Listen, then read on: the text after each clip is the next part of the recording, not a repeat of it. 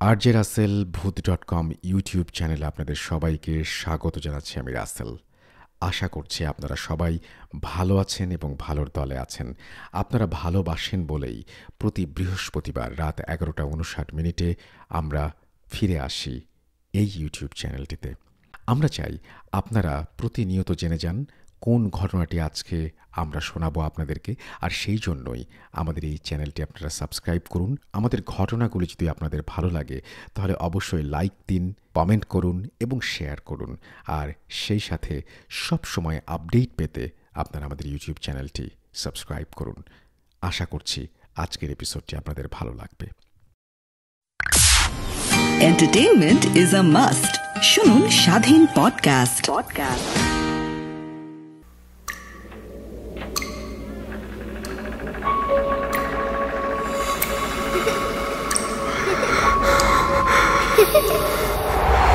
লুকোচুরি খেলবে লুকোচুরি তুমি লুকাও আমি ঠিকই তোমাকে খুঁজে পাবো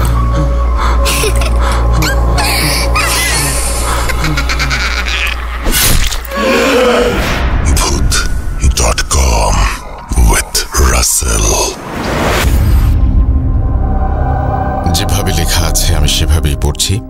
আসসালামু আলাইকুম রাসেল ভাই ও প্রিয় লিসেনার্স আশা করি আপনারা সবাই আল্লাহর রহমতে সুস্থ আছেন, ভালো আছেন। আমি মোহাম্মদ সাবিত আলম লিখছি ময়মনসিংহ বিভাগ থেকে। আমি বর্তমানে আপনাদের সকলের প্রিয় ভূত ডট কমের একজন মডারেটর হিসেবে নিযুক্ত আছি।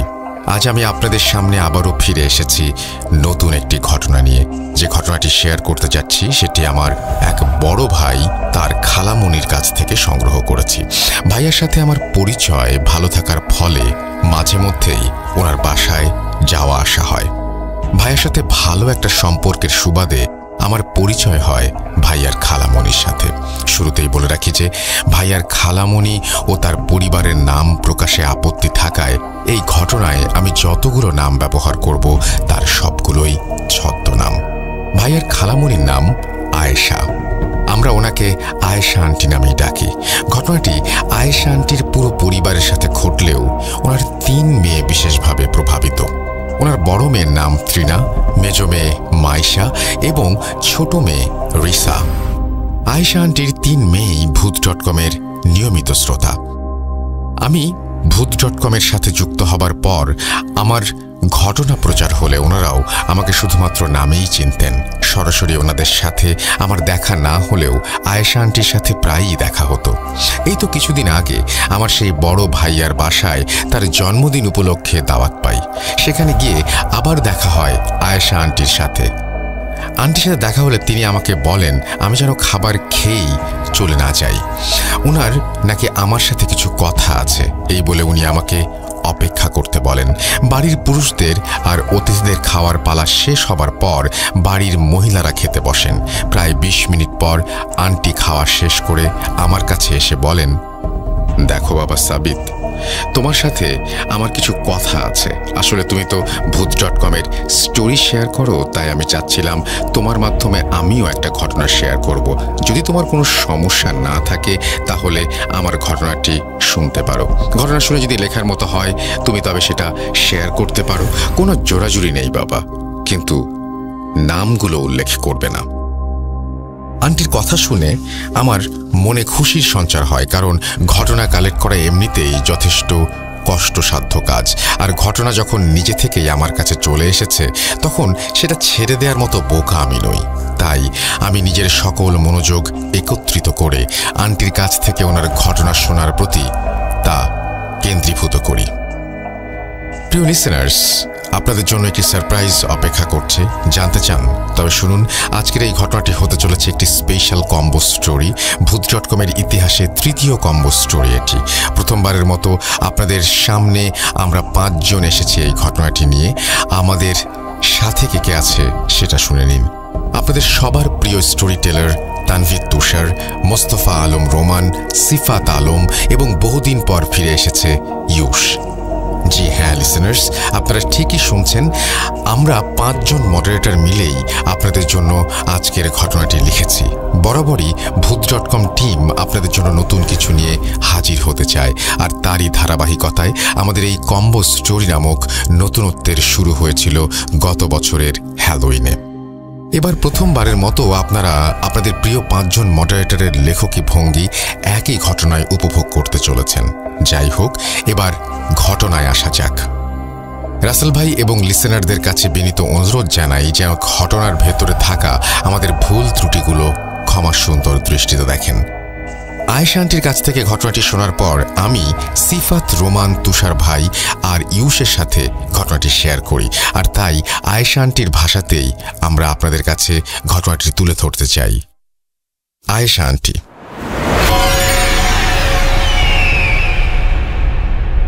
আমার নাম আয়েশা। পেশায় আমি একজন গৃহিণী। আমার হাজব্যান্ড একটি রেপুটেড কোম্পানিতে ম্যানেজার হিসেবে কর্মরত আছেন। আমার ঘটনাটি আসলে আমার তিন মেয়েকে কেন্দ্র করে। আল্লাহর অশেষ রহমতে আমার তিনটি কন্যা সন্তান আছে।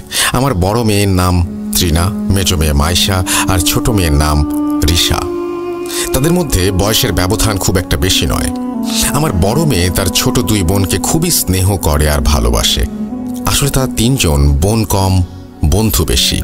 তাদের এই মিল মোহব্বত দেখে আমার প্রাণ যেন জুড়িয়ে যায়। এখনও আমার তিন মেয়ে একত্রিত হলে আমার বড় মেয়ে নিজে রান্না করে ছোট দুই মেয়েকে নিজ হাতে খাইয়ে দেয়। আমার অনুপস্থিতিতে সেই যেন তাদের মা। আমি ভাবতাম, এরা একে অপরকে ছাড়া থাকবে কীভাবে? কেননা, মেয়ে বড় হলে তাদের বিয়ে তো দিতেই হবে। যাই হোক, কয়েক বছর আগের ঘটনা। আমি আমার দুই মেয়ে গ্রামের বাড়িতে বেড়াতে যাই। বড় মেয়ের পরীক্ষা থাকায় সে তার বাবার সাথে বাসায় ব্যস্ত ছিল। আমার হাজবেন্ড যথেষ্ট ব্যস্ত একজন মানুষ। পরিবারকে সময় দেওয়ার মতো সময় তার ছিল না বললেই চলে। আমি নিয়মিত আমার মেয়েকে ফোন করে তার পড়াশোনার অবস্থা সম্বন্ধে জানতে চাইতাম। চার পাঁচ দিন গ্রামের বাড়িতে কাটিয়ে ফিরে আসছি নিজের বাসায়। সময়টা তখন আনুমানিক সন্ধ্যা সাতটা থেকে সাতটা তিরিশ হবে। চাবি দিয়ে মেইন গেট খুলে ভেতরে গিয়ে দেখি বাড়িতে কোনো আলো নেই। এই দেখে আমি ভাবি, হয়তো আমার বড় মেয়ে তার বাবার সাথে বাইরে কোথাও গিয়েছে। আমি মনে মনে ভাবি, বাইরে গেলে তো আমার হাজবেন্ড আমাকে ফোন করে জানাবে। কি জানি, হয়তো ভুলে গেছে। এটা ভেবে আমি ঘরের লাইট জ্বালাতেই দেখি, আমার বড় মেয়ে ডাইনিং টেবিলের উপরে পা তুলে চেয়ারে বসে আছে। আমি রীতিমতো অবাক হয়ে যাই তার এই অবস্থা দেখে। এমন অবস্থায় আমি তাকে আগে কখনোই দেখিনি। আমি তাকে ধমক দিয়ে বলি, কিরে, বাসায় কয়দিন ছিলাম না, আর সব আদব কায়দা ভুলে গেছিস? বেয়াদবের মতো এভাবে বসে আছিস? আর লাইট জ্বালাসনি কেন? আমার কথায় আমার মেয়ের মধ্যে কোনো প্রতিক্রিয়াই নাই। সে তার মতো চেয়ার থেকে উঠে নিজের রুমে চলে গেল। তার পেছন পেছন আমার বাকি দুই মেয়েও চলে গেল। বাড়ির অবস্থা দেখে আমার প্রচণ্ড রাগ হচ্ছিল, কেননা সব কিছু ছিল অগোছালো আর এলোমেলো। বাড়িতে প্রাপ্তবয়স্ক তিনজন মেয়ে থাকার পরেও যদি এমন অবস্থা হয়, তাহলে সেটা মেনে নিতে সবারই কষ্ট হবে। আমি ঘরে ফিরে ফ্রেশ হয়ে গোছগাছ শুরু করে দেই। এদিকে রাতের রান্নাটাও করতে হবে। তাই ভেবে আমি আমার মেয়েদের ডেকে বলি, তারা যা খেতে চায় তা নিয়ে রান্নাঘরে সব কিছু রেডি করে রাখি যেন রান্না করতে সুবিধা হয়। আমার ডাক শুনে মেজো মেয়ে মাইশা রান্নাঘরে চলে যায়। কিছুক্ষণ পর আমার বড় মেয়ের রুম থেকে চিৎকারের আওয়াজ ভেসে আসলে। আমি দৌড়ে গিয়ে আমার ছোট মেয়ে রাইসাকে, তার বড় বোন তৃণার ডান কানে থাকা দুল কামড় দিয়ে সজোরে টেনে ধরেছে দেখতে পাই। আর তারই ব্যথায় তৃণা চিৎকার করছে। এসব দেখে আমার রাগ চরমে পৌঁছে যায় আর আমি রিশাকে চর মেরে ওকে জিজ্ঞেস করি, এই আচরণের কারণ কি? রিশা আমাকে কোনো উত্তর না দিয়ে তৃণার দিকে তাকিয়ে বলে, কেন এসেছিস? মহান হতে গুরুজি তোকে কেন যে মেরে ফেলেনি? ভালোই হয়েছে। এবার আমাদের হাতে তোর মরণ হবে। এই বলে রিশা তার মেজ বোন মাইশার দিকে তাকিয়ে ফিক করে হাসতে থাকে। মাইশাকেও দেখলাম মাথা ঝুঁকিয়ে হেসে চলেছে। তৃণাকে দেখলাম চোখ বড় করে রাগে একবার রিশা, একবার মাইশার দিকে তাকিয়ে আছে। আমি রিশা আর মাইশাকে তৃণার রুম থেকে বের করে নিয়ে আসছিলাম। তখনই ত্রিনা বলে ওঠে, আল্লাহ ছাড়া কাউকে ভয় করি না। ওস্তাদের এই পাপের প্রায়শ্চিত্ত করতে এসেছি। কোরবানি দিতে হলে দেব, তবুও তোদের ভয় পাবো না। এই কথা শুনে রিশা ও মাইশা গজগজ করতে করতে যে যার রুমে চলে যায়। আমি কিছুই বুঝতে পারছিলাম না এ কি অবস্থা, কি হচ্ছে। এদিকে তৃণার জন্য ছেড়ে দেখা হচ্ছিল ওর বিয়ের জন্য। এখন সব সমস্যা আমি আমার পরিবার এফোর্ড করার মতো অবস্থায় ছিলাম না। আমি রিসার রুমে এসে ওকে জিজ্ঞেস করি যে সে কেন এভাবে বড় বোনের কানের দুল ধরে টানছিল? কিন্তু তখন সে কিছুই বলল না। আর কেমন যেন ব্যাপারটা এড়িয়ে গেল। শুধু সে বলল, সে তার আপুর কাছে যাবে না। সেদিন আমার হাজবেন্ড ফিরে এলে আমি তাকে সব কিছু জানাই। আমি তার কাছ থেকে কোনো সিরিয়াসনেস আশা করিনি অবশ্য, যথারীতি আমার কথা শুনে সে উড়িয়ে দিল। এর পরের দিন আমি লক্ষ্য করি আমার বড় মেয়ের সাথে বাকি দুই মেয়ে কোনো কথাই বলছে না। আমার বড় মেয়েও ছোট বোনদের নিজের কাছে ডাকছে না। এসব দেখে আমি খুবই অবাক হতে থাকি। কিছুদিন আগে যাদের মধ্যে এত মিল ছিল, তারা আজ হঠাৎ এমন কেন হয়ে গেল তা আমি কিছুতেই ভেবে পাচ্ছিলাম না। আস্তে আস্তে অবস্থার অবনতি ঘটতে থাকে। আমার কোনো মেয়েই একজন আরেকজনকে সহ্য করতে পারছিল না। প্রতিদিনই কিছু না কিছু ঘটেই চলেছে। সারাদিন ঝগড়া করেও মাঝে মাঝে সেটা মারামারির পর্যায়ে চলে যেত। আমি একা কিছুতেই তাদেরকে সামনে রাখতে পারছিলাম না। তাদের মধ্যে হুট করে কেমন যেন হিংসার সঞ্চার হয়। দেখা যেত বড় মেয়েকে কোনো জামা কিনে দিলে ছোট মেয়ে তা ছিঁড়ে ফেলতো। আর ছোট মেয়েকে কিছু দিলে মেজো মেয়ে তা ফেলে দিত বা নষ্ট করে ফেলতো। খাবার টেবিলে বসেও ঝগড়া করতো তারা। এমনও হয়েছে, আমার বড় মেয়ে খাবার ভর্তি প্লেট ছুঁড়ে মেরেছে তার বোনদের দিকে। অন্যদিকে আমার মেজো মেয়ে মাইশা তার আপুকে বাথরুমে আটকে তার রুমের দরজা বন্ধ করে চলে গেছে। সারাদিন তার দেখা না পেয়ে তার রুমের সামনে গিয়ে দেখি, বাইরে থেকে লক করে দেয়া রুম। রুমে ঢুকে দেখি বাথরুমের দরজা বাইরে থেকে লক। দরজা খুলে দেখি ত্রিনা অজ্ঞান হয়ে বাথরুমের ফ্লোরে পড়ে আছে। পেছন ফিরে মাইশাকে ডাকতে যাব, তখন দেখি মাইশা আমার পেছনেই দাঁড়ানো। বোনের এই অবস্থা দেখে সে দিব্যি হাসছে। আমি একাই ত্রিনাকে বিছানায় নিয়ে যাই। তার জ্ঞান ফিরে এলে তাকে কে আটকে রেখেছিল জিজ্ঞেস করি। কিন্তু সে কিছুই বলে না। ব্যাপারটা এমন হয়ে গিয়েছিল যেন তারা ভেতরে ভেতরে একে অপরকে যেভাবে পারে ক্ষতি করতে চাইছে। কিন্তু কাউকে তা বুঝতে দিতে চাইছে না। আর কোনো অঘটন ঘটার আগেই আমি আমার হাজব্যান্ডকে সব জানাই। আমার হাজব্যান্ড তাদের নিয়ে একজন সাইকিয়াট্রিস্টের কাছে যান। সেখানে গিয়ে আমি বোকা বনে যাই, কেননা সেখানে তাদের ব্যবহার ছিল পুরোই উল্টো। তারা এমনভাবে কথা বলছে যেন একজন আরেকজনকে খুব ভালোবাসে। আমার হাজব্যান্ড সারাদিন বাসায় থাকে না, আর সে আমার কথা বিশ্বাস করে তাদেরকে ডাক্তারের কাছেও নিয়ে এসেছে। কিন্তু আমি নিজেই আমার হাজব্যান্ডের কাছে মিথ্যাবাদী প্রমাণিত হয়ে গেলাম। তাও আমার নিজের মেয়েদের জন্য। খুব খারাপ লাগছিল আমার। বাসায় এসে আমার হাজবেন্ড আমার সাথে প্রচণ্ড রাগারাগি করেছিল বিষয়টা নিয়ে। আমার হাজবেন্ডের সামনে আমার তিন মেয়েই এমন ব্যবহার করে যেন তাদের মধ্যে কোনো সমস্যাই নেই। এবারে আমি সম্পূর্ণ একা হয়ে যাই। আমার হাজবেন্ডকে আমি কিছুই জানাতে পারছিলাম না, কেননা সে আমার কথা বিশ্বাসই করবে না। আমার মেয়েদের এমন অবস্থা মানতেও পারছি না। সারাদিন ঝগড়া, মারামারি আমার সহ্য হচ্ছিল না। এই জন্য আমার বড় মেয়ের বিয়ের জন্য ছেলে দেখা হতে থাকে। কিন্তু কোনো লাভ হচ্ছিল না, কেননা কোনো কারণে সেই বিয়ের কথা আর এগোতো না। আর যেগুলো একটু এগোতো সেগুলো সমস্যা কি ছিল জানো? চিন্তা করো না, জানতে পারবে। অনেকের কাছেই এসব সমস্যা আমি শেয়ার করেছি কিন্তু কোনো লাভ হয়নি। তবে সবাই আমাকে একটা কমন পরামর্শ দিয়েছিল, আর সেটি হলো হুজুর দেখানো। আমি বিষয়টিকে নিয়ে অনেক ভাবি। একসময় সিদ্ধান্ত নেই যে ভালো একজন হুজুরের তদবির গ্রহণ করব। এ বিষয়ে হাজব্যান্ডকে কিছু জানাই না, কেননা কোনো লাভ হবে না। আর তাই নিজেই খোঁজ নিয়ে এক হুজুরের সন্ধান পাই।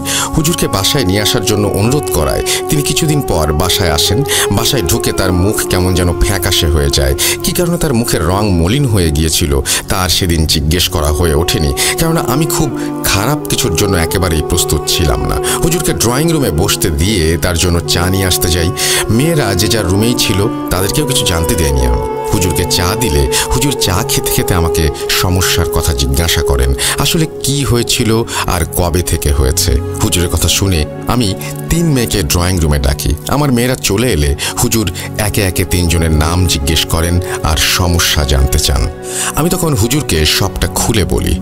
এবার বলি, আমার বড় মেয়ের বিষয়ের সমস্যাগুলো। আমার বড় মেয়েকে পাত্রপক্ষ দেখতে আসলে মাইশা আর রিসা আজব আচরণ করত। ত্রিনাকে ওরা সাজতে দিত না আর শাড়িও পরতে দিত না। ওর যত মেকআপ ছিল সব পানিতে ফেলে দিত, নয়তো অন্য কোনোভাবে নষ্ট করে ফেলতো। কষ্ট করে মাঝে মাঝে ত্রিনাকে পাত্রপক্ষের সামনে আনা হলে কোনো না কোনোভাবে সে বিয়ের ব্যাপারটা মানা করে দিত।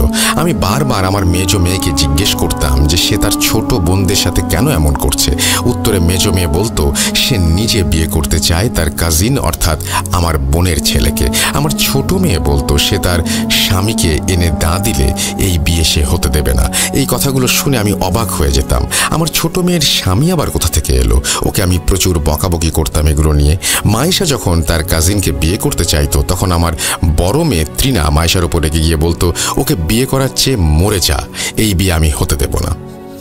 আমার এই কথাগুলো শুনে হুজুর আমাকে তিন গ্লাস পানি আনতে বললেন। আমি তিন গ্লাস পানি এনে দিলে হুজুর গ্লাসের পানিতে কিছু একটা পরে ফু দেন আর একটা সাদা কাগজ বের করে সেই কাগজে কিছু আয়াত লিখে একে একে আমার তিন মেয়ের সামনে ধরেন কাগজের লেখা পড়াবার জন্য।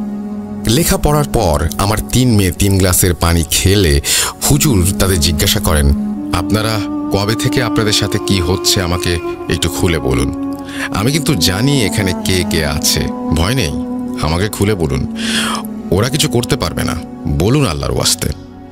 হুজুরের কথা শুনে আমার বড় মেয়ে শুরুতে তার যেসব সমস্যাগুলো ছিল সেগুলো বলতে শুরু করে। আমার তিন মেয়ের সমস্যাগুলো আমি আমার মতো করে শেয়ার করছি। আমার বড় মেয়ে ত্রিনার সমস্যা। তিন বোনের মাঝে সবার বড় তৃণা। শান্ত স্বভাবের তৃণার অভ্যাস ছিল রাত জেগে বই পড়া। চারিদিকে গরমে অতিষ্ঠ হয়ে উঠছে সব। ব্যালকনিতে বসে তাই নিয়মিত বই পড়ে তৃণা। প্রতিদিন রাতের মতো সেদিনও রাতে ডিনার শেষ করে ব্যালকনিতে রাখা একটা চেয়ারে বসে বই পড়ায় মনোযোগ দিয়েছিল তৃণা। বেলকনির ওপাশে নিকশ কালো অন্ধকার জমাট বেঁধেছে অনেক আগেই। রাতের নিস্তব্ধতা ভাঙার মতো কোনো শব্দ নেই কোথাও। বাতাসও যেন থমকে গেছে। প্রচুর গরমে অস্বস্তি নিয়েও এক মনে বই পড়ে যাচ্ছে ত্রিনা হঠাৎ গরমের মাত্রাটা আরও বাড়িয়ে দিতেই যেন উদয় হলো লোডশেডিং কারেন্ট চলে যাওয়ার পরে চারিদিক আরও নিস্তব্ধ হয়ে গেল। বাতাসের লেশমাত্র নেই বাইরে। বইটা বন্ধ করে চেয়ার থেকে উঠতে যাবে ঠিক সেই সময় একটা ঠান্ডা বাতাস এসে লাগল তার শরীরে। এক মুহূর্তের জন্য সব গরম ছাপিয়ে এক প্রশান্তির জগতে চলে গেল তৃণা। এত শান্তির ঠান্ডা বাতাস সে আগে কোনোদিন অনুভব করেনি। তখনই তার নাকে ভেসে এলো এক সুন্দর সুগন্ধ, একটি মিষ্টি গন্ধ যেন তাকে মোহিত করে ফেলছিল। এমন সুন্দর সুবাস এর আগে কখনো কোথাও পায়নি সে। তারপর ত্রিনা বেলকানি থেকে উঠে রুমে চলে গেল। পুরো রুমে সেই ঠান্ডা বাতাস প্রবাহমান। আর রুম জুড়ে মিষ্টি সুগন্ধ ভেসে বেড়াচ্ছে, তার মনে হতে লাগল গন্ধটা যেন শেষ না হয়ে যায়। এসব ভাবতে ভাবতেই আবার কারেন্ট চলে আসলো। ঠিক যতটা দ্রুততার সাথে সেই ঠান্ডা বাতাস, তার ঘ্রাণটা এসেছিল কারেন্ট আসার পরে, ঠিক তত দ্রুতই সেটা মিলিয়ে গেল। সেদিন রাতে আর পড়ায় মনোযোগ দিতে পারল না ত্রিনা শরীর কেমন যেন ভার মনে হতে থাকল তার। সে বই রেখে ঘুমিয়ে পড়ল। গভীর রাতে ঘুমের মাঝে তার মনে হতে লাগল কেউ ফিস ফিস করে তার কানে কিছু একটা বলছে, একটা সুর একইভাবে কিছু বলছে। সে নাকি চাইলেও সজাগ হতে পারছিল না আর ভালো করে বুঝতেও পারছিল না তার কানে কে কি বলছে। ঘুমের মাঝে ফিসফিস করে তার কানে কেউ কিছু বলে যাচ্ছিল, সেই সাথে মিষ্টি সুগন্ধটা আবারও সে টের পাচ্ছিল। এরপর পাখিদের কিচিরমিচির শব্দে ঘুম ভেঙে গেল তার। চোখ মেলে তাকাতেই সে নিজেকে ব্যালকনির চেয়ারে আবিষ্কার করল, চারিদিকে ভোরের আলো আর পাখিদের ডাক। সে অনেক অবাক হলো, তার স্পষ্ট মনে আছে সে ব্যালকনি থেকে উঠে রুমে গিয়ে শুয়েছিল। তাহলে এখানে আসলো কি করে? সে ভাবলো হয়তো ঘুমের মাঝে উঠে এসে বসেছে, কিন্তু তার মনে পড়ল, তার তো ঘুমের মাঝে হাঁটাহাঁটি করার কোনো সমস্যা নেই। ত্রিনা মনের ভুল ভেবে ব্যাপারটা উড়িয়ে দিল, কিন্তু সমস্যা হলো, যখন সে টানা তিন দিন এই সমস্যার সম্মুখীন হলো, প্রতিদিন নিয়ম করে রাতে একবার লোডশেডিং আর পুরো রুমে ঠান্ডা বাতাসের সাথে সেই পরিচিত মিষ্টি সুগন্ধ, প্রতিদিন রাতে সেই ফিসফিস শব্দ আর সকালে উঠে নিজেকে ব্যালকানির চেয়ারে বসা অবস্থায় আবিষ্কার করা। এবার সে ব্যাপারটা নিয়ে অনেক চিন্তায় পড়ে যাচ্ছে। কি হচ্ছে তার সাথে? তার মনে হচ্ছে রাতে কেউ তাকে অনেক কিছু বলে যাচ্ছে, কিন্তু কিছুতেই তিনি সেই কথাগুলো মনে করতে পারছেন না। যা শোনেন সকাল হলেই সব তিনি ভুলে যান। যদি কোনো রাতে তার প্রচুর মাথা ব্যথা হয়, তবে সে মাথা একটা ঠান্ডা বাতাস আর শান্তি অনুভব করত। এক নিমিষেই যেন মন জুড়ে একটা শান্তি চলে আসতো। সে নিয়মিত নামাজ আদায় করতো না।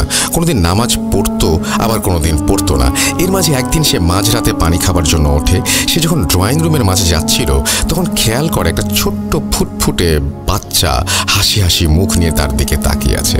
ছোট্ট বাচ্চাটা যেন তাকে ইশারায় নামাজ পড়ার কথা বোঝাচ্ছে। সে খেয়াল করল সেই পরিচিত মিষ্টি গন্ধ আবার ভরে গেছে রুমে। সে খুশি হয়ে বাচ্চাটার দিকে এগিয়ে যেতে নিল। হঠাৎ তার মনে হলো, আরে বাসায় তো কোনো বাচ্চা নেই। সাথে সাথে সামনে তাকিয়ে দেখল আর কেউ নেই সেখানে। সে অনেকটা অবাক হয়ে যায়, তার সাথে ভয়ও পেয়ে যায়, সে দৌড়ে রুম থেকে চলে আসে। রুমে এসে সে ঘুমিয়ে যায়। ঘুমের মাঝে সে আবার সেই ছোট বাচ্চাটিকে স্বপ্নে দেখে। স্বপ্নে সেই বাচ্চাটা তার কাছে এগিয়ে আসছে, সুন্দর করে তাকে নামাজ পড়ার জন্য বলছে।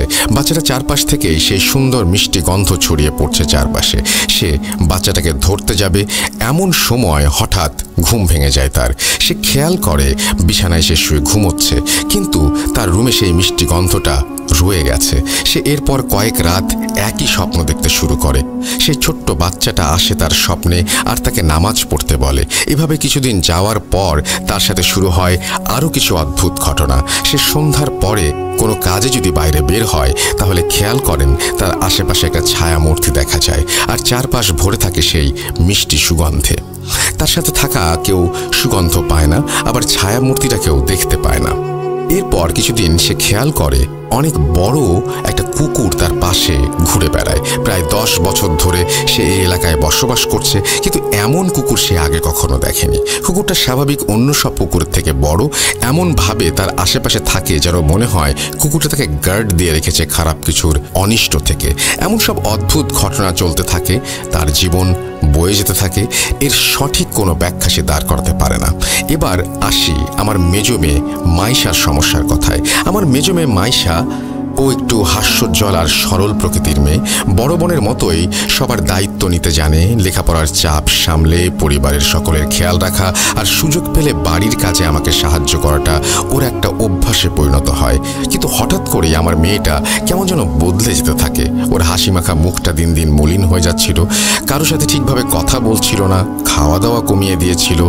মাঝে মাঝেই দেখতাম মাঝরাতে পুরো বাড়ি ঘুরে বেড়াচ্ছে আর বিড়বিড় করে কি যেন সব বলছে। আমি পেছন থেকে ডাক দিতেই তাড়াহুড়া করে নিজের ঘরে চলে যেত। প্রথমে ভেবেছিলাম রাতে ঘুম আসছে না, তাই হয়তো একটু হাঁটাহাঁটি করছে। কিন্তু দিন দিন ওর এই আচরণগুলো আমার কাছে অদ্ভুত লাগতে শুরু করে বিধায় একদিন আমি নিজেই ওর কাছে গিয়ে ওর মাথায় হাত বোলাতে বোলাতে মন খারাপের কারণটা জিজ্ঞেস করি। কিন্তু আশানুরূপ কোনো উত্তর পাই না। সেদিন আমি ওকে আর কিছু জিজ্ঞেস করিনি। সবারই একটা পার্সোনাল স্পেস প্রয়োজন। ও আমার সাথে মন খুলে সমস্যার কথা বলবে, আমি না হয় শুনব। এই ভেবে দুই একদিন অপেক্ষার পর আমার ভাবনাটি যেন সত্যি হয়। মাইশা নিজে থেকেই আমার কাছে আসে, কারণ একজন মানুষ কীভাবে একটা ছায়ার সাথে বন্ধুত্ব হতে পারে, এই ব্যাপারটা সে বলতে শুরু করে। কিন্তু বোধহয় তার কথাগুলো একটু বেশি অবিশ্বাস্য মনে হচ্ছিল। আদৌ কি সম্ভব? কিন্তু মায়েশার অবস্থাটা ছিল ঠিক এমনই। আচ্ছা আমি নয় ওর মতো করে এই ব্যাপারটা বুঝিয়ে বলি। মাইশা, মা জানি না তুমি কীভাবে বুঝতে পেরেছ আমি এই কয়দিন যাবৎ কিছু সমস্যা ফেস করছি, কিন্তু এটা সত্যি। এই কয়দিন আমি নিজেই অদ্ভুত কিছু সমস্যার সম্মুখীন হয়েছি এবং হচ্ছি। তুমি জানো মা এই সপ্তাহ, এই এক সপ্তাহ ধরে আমি এক অদ্ভুত অভিজ্ঞতা তার অনুভূতির মধ্যে দিয়ে কাটাচ্ছি। জানি না তোমাকে কীভাবে বুঝিয়ে বলব, কিন্তু আমি তোমাকে সবটা বলতে চাই। গত সপ্তাহে আমার একটা ক্লাস টেস্ট ছিল বিধায়। আগের দিন রাতে পড়া শেষ করে ঘুমোতে ঘুমোতে একটু দেরি হয়ে যায়। সময়টা হয়তো তখন রাত দুইটা বা আড়াইটা। কিছুটা ক্লান্ত ছিলাম বলেই হয়তো বিছানাতে শোয়ার সাথে সাথেই ঘুমিয়ে পড়ি। কিন্তু হঠাৎ রুমের মাঝে কারও হাঁটাহাঁটির আওয়াজে আমার ঘুম ভেঙে যায়। আধো চোখে আমি তাকিয়ে কাউকে দেখতে না পেয়ে যখনই চোখটা বন্ধ করি, ঠিক তখনই আবার খালি পায়ে কারও হাঁটার আওয়াজ পাই। আমি আবারও চোখ খুলে সবটা দেখার চেষ্টা করি, কিন্তু রুমের ভেতরে কাউকে দেখতে পাই না। অদ্ভুত ঘটনাগুলোর সূত্রপাত বলতে গেলে ওই রাত থেকেই। তারপর প্রায় প্রতি রাতেই আমি আমার রুমে অদৃশ্য কিছুর উপস্থিতি টের পেতে থাকি। পরশু রাতে এক অদ্ভুতভাবে আমার রুমের বাইরে দুটো কাক অনবর্ত ডেকেই চলেছে।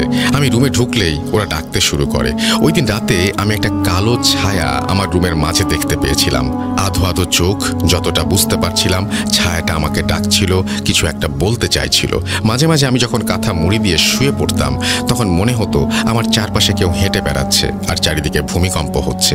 মনে হতো আমার বিছানাটা কেউ প্রচণ্ড জোরে নাড়া দিচ্ছে, তাই কদিন যাবৎ রাতে ঠিকমতো ঘুমোতেও পারছি না। একদিন সন্ধ্যায় গোসল করতে গিয়ে ওয়াশরুমে ভেন্টিলেটরে বিভৎস চেহারার একজনকে দেখতে পেয়েছিলাম। চেহারাটা দেখে ভয় পেয়েছিলাম, কিন্তু কাউকে কিছুই বলতে পারিনি। মাইশার কথাগুলো শুনে আমি হতভম্বের মতন বসেছিলাম। কি বলছে ও এসব? এমনটা আবার হয় নাকি? আমি অলৌকিক ব্যাপার স্যাপার আগে থেকেই বিশ্বাস করি না, কারণ আমি নিজে কখনো এইসবের বিষয়ের সম্মুখীন হইনি বা কখনো কারও কাছ থেকে শুনিনি। তাই মাইশাকে এগুলো তার মনের ভুল বলে সান্ত্বনা দিতে শুরু করি। কিন্তু মাইশা আমার কথা মানতে নারাজ। তার দাবি, সে সত্যিই এই সমস্যাগুলোর সম্মুখীন হচ্ছে এবং এটা একদমই তার মনের ভুল নয়। যা হোক এই বিষয়টা নিয়ে আমাদের মাঝে ছোট্ট কথা কাটাকাটির এক পর্যায়ে মাইশা রাতের বেলায় একা একা ঘরের ভেতর হাঁটাহাঁটির ব্যাপারটা আমার মাথায় আসে। আমি ভেবেছিলাম, ও অদ্ভুত বিষয় নিয়ে ভাবছে বিধায় রুমে একা থাকতে ভয় পাচ্ছে। আমি ওকে মাঝরাতে এক ঘর থেকে অন্য ঘরে ঘোরাঘুরির ব্যাপারটা জিজ্ঞেস করলে একটু অবাক হয়ে যায়। ও নাকি এরপরে কিছুই জানে না, বরং ও আমাকে বলে যে, রাতে আমি ঘুমিয়ে যাবার পর ফজরের আজানে যখন ঘুম ভাঙে, তখনও আমি নিজেকে রান্নাঘরে ময়লা ঝুড়ির সামনে দেখতে পাই। এরকমটা নাকি বেশ কয়েকবার হয়েছে ওর সাথে। কিন্তু এটা কীভাবে সম্ভব? ছোটবেলা থেকে ও তো স্লিপ ওয়াকিংয়ের সমস্যা নেই। তাহলে হঠাৎ করে এখন কেন এই সমস্যা দেখা দেবে? আর ও বারবার ময়লার ঝুড়ির সামনেই যাবে কীভাবে? আর সবচেয়ে বড় কথা হলো, ওকে ঘোরাঘুরি করতে দেখে পেছন থেকে ডাক দিয়ে দৌড়ে চলে যেত কেউ। তাহলে কি আমি ঘুমিয়ে পড়ার পর এমনটা হতো? ব্যাপারটা আমার মাথায় হালকা টোকা দিলেও আমি তখন বিষয়গুলো বিশ্বাস করতে পারছিলাম না। তাই আবারও মায়েশাকে সান্ত্বনা দিতে থাকি, কিন্তু মায়েশা আবারও পর একটু অভিমান করেই রুম থেকে বেরিয়ে যায়। এই ঘটনাগুলোর বর্ণনা একটু কষ্টকর। হঠাৎ করেই মাইশা বদলে যেতে থাকে, বাসার সবার সাথে কথা বলার পরিমাণ কমিয়ে দেয়, এমনকি আমার সাথে আস্তে আস্তে কথা বলা কমিয়ে দেয়। আমি মাঝে মাঝে কিছু জিজ্ঞেস করলে চুপ হয়ে থাকতো। সপ্তাহখানেক যাওয়ার পরে ওর শরীরের অবস্থার অবনতি দেখে আমার চোখ পড়ে। মাইশা দিন দিন শুকিয়ে যাচ্ছিল আর ওর চেহারার উজ্জ্বলতা হারিয়ে যাচ্ছিল। আমি এত সুন্দর ফর্সা মেয়েটার গায়ের রং হঠাৎ করে বদলে কেন যেতে থাকে এটা নিয়ে খুব চিন্তা করতে থাকি। দিন দিন কালো হয়ে যাচ্ছিল আর মেজাজটাও খিটখিটে হয়ে যাচ্ছিল। আমি ভাবলাম, সেদিন ওর কথাগুলো বিশ্বাস না করায় ও হয়তো আমার উপরে কিছুটা অভিমান করেছে, ঠিকমতো খাওয়া দাওয়া করছে না। তাই ওকে ডেকে আদর করতে চেয়েছিলাম। কিন্তু ওর রুমে গিয়ে যা দেখি তা ছিল শরীর শিউরে ওঠার মতো। সেদিন আমি দেখেছি, তা একটু পর বলছি, তার আগে একটা অদ্ভুত বিষয় শেয়ার করি। মাইশের সাথে এই সমস্যা চলাকালীন আমার বড় মেয়ে তৃণার তখনও সমস্যার সৃষ্টি হয়নি। ঝামেলার শুরু হয় তৃণার এঙ্গেজমেন্টের দিন। ওই দিন বাড়িতে অনেক মেহমান আর আত্মীয় স্বজন এসেছিলেন। বরপক্ষের লোকেরা ছিলেন। আমি, আমার হাজব্যান্ড রান্নার দিকটা সামলাচ্ছিলাম আর আমি আওয়াজটা ভালোভাবে বুঝতে পারছিলাম। ওটা আমার মেজো মেয়ের কণ্ঠ। আমি দৌড়ে তৃণার রুমে গিয়ে যেন বাকরুদ্ধ হয়ে গিয়েছিলাম। আমার মেজো মেয়ে মায়শা, আমার ছোট মেয়ে রিশা প্রচণ্ড ক্ষিপ্ত। এবং তারা তৃণার উপরে হাত উঠাচ্ছে, তার মেকআপ নষ্ট করে দিচ্ছে আর চুল টিনে ছিঁড়ে ফেলার মতো ব্যবস্থা করছে। দৃশ্য দেখে আমার মাথায় যেন আর কোনো কিছু আসছিল না। কি করব ভেবে পাচ্ছিলাম না, কারণ তিন বোনের এত মিল, তিনজনই তিনজনকে অসম্ভব ভালোবাসে। সেখানে তারা নিজেরাই একজন আরেকজন বোনকে সাজিয়ে দেবে, অর্থাৎ একজন আরেকজনের দায়িত্ব পালন করবে, অথচ তার বদলে এমন দৃশ্য মেনে নেওয়া অসম্ভব। দেখলাম সবাই দৌড়ে ওদের থামাচ্ছে, কিন্তু মাইশা আর রিশা কিচ্ছু শুনতে চাইছে না আর বারবার বিয়েটা ভেঙে দিতে চাইছে। আমি বুঝতে পারছিলাম না কি হচ্ছে এসব আর কি বা করা উচিত আমার। এমন সময় একটা কাণ্ড দেখে তৃণা বিয়েটাই ভেঙে যায়। আমি কেমন যেন দিশেহারা হয়ে যাচ্ছিলাম এই সব কিছুর মাঝে। এরপরের ঘটনাগুলো না হয় সবার শেষে বলব। তার আগে সেদিন মাইশার রুমে গিয়ে যে দৃশ্য দেখে শিউরে উঠেছিলাম, সেই দৃশ্যটার কথা বলি। তখনও ছিল সন্ধেবেলা, আমি মাইশার রুমের দিকে যাচ্ছিলাম এবং তার সাথে কিছুক্ষণ কথা বলব বলে ওর মনের অবস্থা যেন ভালো হয় বা মনের অবস্থা জেনে নেই, মনটা হালকা করতে পারি সেই জন্যই যাওয়া।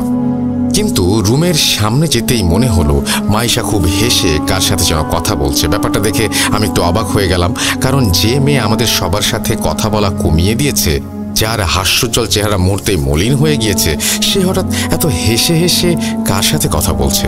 বিষয়টা দেখতে দরজা অল্প একটু খুলে দেখি, মাইশা পেছনে ঘুরে ওর রুমের মেঝেতে উবু হয়ে বসে আছে আর সামনের দিকে তাকিয়ে কার সাথে যেন কথা বলছে। আমি মাইশার দৃষ্টি অনুসরণ করে সামনে তাকাতেই আমার পুরো শরীরে একটা কাঁপুনি দিয়ে ওঠে। আমি দেখলাম একটা বিশাল আকৃতির কালো ছায়া মাইশার বাঁ পাশে বসে আছে।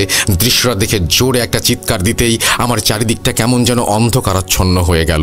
চোখ খুলতেই দেখি আমি মাইশার রুমের দরজার সামনে দাঁড়িয়ে আছি আর আমার সামনে মাইশা একটা রাগান্বিত দৃষ্টি নিয়ে দাঁড়িয়ে আছে। আমি দৌড়ে গিয়ে ওকে জড়িয়ে ধরে চিৎকার করে বলতে থাকি, তুই ঠিক আছিস তো, মা?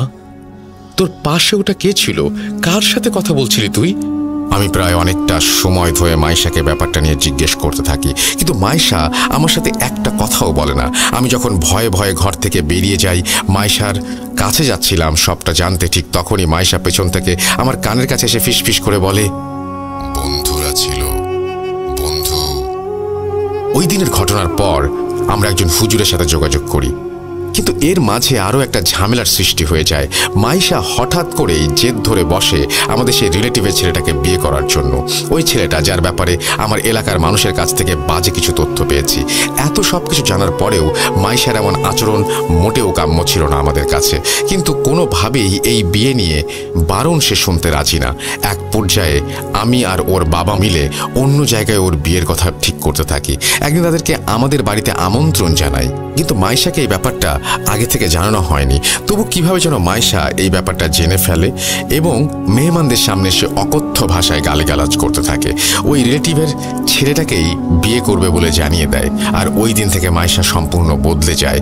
প্রচণ্ড রকমের খিটমিটে মেজাজের হয়ে যায় আর কারণে অকারণে অকথ্য ভাষায় গালিগালাজ করতে থাকে। ঘরের জিনিসপত্রগুলো ভাঙচুর করতে থাকে। সবকিছু যেন মুহূর্তের মধ্যে বদলে যেতে থাকে আমাদের পরিবারে।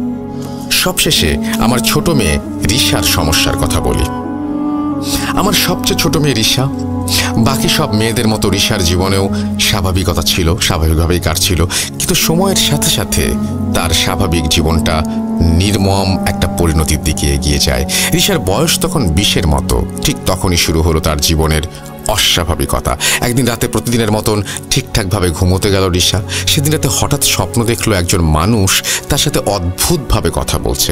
তাকে আদর করছে, নানান আদেশ উপদেশ দিচ্ছে, যা বাস্তব জীবনে মানুষগুলোকে কেন্দ্র করে। সেই লোকটি রিসাকে বলছে, তোমার মা অমন কেন? এটা কেন করছে? ওনাকে মানা করো, ওটা করতে। আরও বলতো, তোমার রুমে এটা এভাবে সাজিয়ে রেখো না, ওইভাবে সাজাও। এরকম অনেক ধরনের কথা রিশাকে বলে যাচ্ছিল। এভাবে কয়েকটা দিন কেটে যাচ্ছিল রিসার রিসা সেই স্বপ্নের লোকটির কথায় এতটাই প্রভাবিত হয়ে গিয়েছিল যে সে তখন বাস্তবতা আর স্বপ্নের মাঝে কোনো পার্থক্য করতে পারছিল না। রিসা ঘুম থেকে উঠেই মা বাবার প্রতি চিল্লাচিল্লি করত। তার হাজব্যান্ড কই? রিসা স্বপ্নের মধ্যেই ছায়ামূর্তিকে হাজব্যান্ড হিসেবে মেনে নিয়েছিল। লোকটি সব কথা রিসা মানত। রিসা একদম আলাদা জগৎ তৈরি করে ফেলেছিল। রিসার সেই স্বপ্নের হাজব্যান্ড রিসাকে বারবার বলতো, তোমার বোনরা একদমই ভালো না। সে একদমই তোমার ভালো চায় না। এই শুনে রিসা প্রায়ই তার বড় বোনের সাথে ঝগড়া করত, সুযোগ পেলেই বড় বোনের গায়ে হাত তুলতো, মারধর করত। রিসা যখনই জেগে থাকতো, সবার সাথে চিল্লা চিল্লি করত, ঝগড়াঝাটি করত। কেউ যদি তাকে কোনো কিছু বোঝাতে চাইতো, তবে এখনও বিয়ে হয়নি রিসা কোনোভাবেই সেটা মেনে নিত না। সে তার কাল্পনিক বরের দ্বারা দারুণভাবে প্রভাবিত। রিসা ঘুমের মাঝে অদ্ভুত শব্দ করত প্রায়ই। বাসার সবাই এগুলো দেখলেও কারও কিছু বলার ছিল না, কারণ রিসা কারও কথাই শুনতো না। রিসা সবসময় ঘুমোতে যেত ঘুম যেন তার প্রিয়। রিসা একদিন রাতে টের পেল তার রুমের বাইরে অনেক বাজ পাখি ডাকছে। সে জানলা দিয়ে তাকালে শুধু শব্দ পেত, কিছু দেখতে পেত না। এরপর এভাবে চলতে থাকল। একদিন ঋষা রুম থেকে অস্বস্তি টের পেল আর তখনই সে অনুভব করতে পারল যে সে আসলেই বাস্তবের বাইরে চলে গিয়েছে। এসব তার স্বপ্ন। আর হঠাৎই সে সব ভুলে যায়। নিজের অজান্তেই নাকি সে তার মেজ বোন মাইশার সাথে মিলে বড় বোন তৃণার ক্ষতি করতে চাইত। তৃণার জীবনে ক্ষতি করা যেন তাদের অবসেশনে পরিণত হয়েছিল। রিসাও ঠিক মাইশার মতো তৃণার বিয়ের কথা শুনলেই রেগে যেত আর তৃণাকে মারধর করত। আমার তিন মেয়ের সমস্যা শোনার পর হুজুর আমাকে বললেন আচ্ছা আপনার বড় মেয়ে কি আপনার মেজ মেয়ের বিয়ে নিয়ে কোনো সমস্যা করে বা ছোট মেয়ের কাল্পনিক স্বামীকে নিয়ে কিছু বলে? হুজুরের কথা শুনে তৃণা সোফা থেকে উঠে দাঁড়ায়। সে হুজুরের কাছে এসে বলে, ওই ছেলেকে বিয়ে করার আগে যেন মাইশা মরে যায়। আর ঋষার স্বামী ওর কল্পনা না, আমি আপনার কাছে সাহায্য চাইছি। এই কথাগুলো বলার সময় তৃণার চেহারা কেমন যেন পাল্টে গিয়েছিল। হুজুর এবার চা খেয়ে আমাকে বলল, মা আমি আমার বড় হুজুরের সাথে এই বিষয়টা নিয়ে কথা বলব। আগামী শুক্রবার রাতের বেলা আপনারা চারজন একই ঘরে ঘুমাবেন আর মেয়ের বাবাকে আলাদা ঘুমাতে দেবেন। যাই হোক, ভয় পাবেন না, আমি শুক্রবার সন্ধ্যায় আসব আমার ওস্তাদ হুজুরের সাথে। এই বলে তিনি চলে যান। পরের শুক্রবার রাতের বেলা আমিও আমার তিন মেয়ে একই রুমে শুই। মধ্যরাতে হঠাৎ রুমে সুন্দর গন্ধ পাই। তিনজন আর কারও হাঁটা চলার আওয়াজ পেতে থাকি। মনে হচ্ছিল তিন, চারজন লোক রুমের ভেতরে কিছু একটা নিয়ে কথা বলছে। এমন সময় ত্রিনা বলে উঠল, আসসালামু আলাইকুম। এবার আমি স্পষ্ট শুনলাম কয়েকটা ভয়েস একসাথে বলল, ওয়ালাইকুম আসসালাম। বলে উত্তর দিল। কিছুক্ষণ পর আমার মেজ মেয়ে আর ছোট মেয়ের আগে গজগজ করতে লাগল। আমি প্রচণ্ড ভয় পাচ্ছিলাম কিন্তু সে রাতে আর কিছু হয়নি। শুক্রবার মধ্যরাতে এই ঘটনার পর সন্ধ্যাবেলা আমি আমার ভাইকে আমার বাসায় আসার জন্য বলি।